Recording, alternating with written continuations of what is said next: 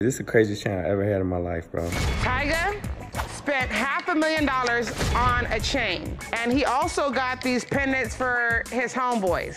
So what is the chain? Uh, it's St. Michael stepping on Satan. Satan is supposedly his haters, and this is like signifying his big comeback. He's stepping on his haters. If you're dividing the other ones between his friends, some of his friends get bigger ones and some of his friends get way smaller. No, actually, you're just an idiot. The main one is his. All the other ones are the same exact size. So. That one's way bigger than that one there.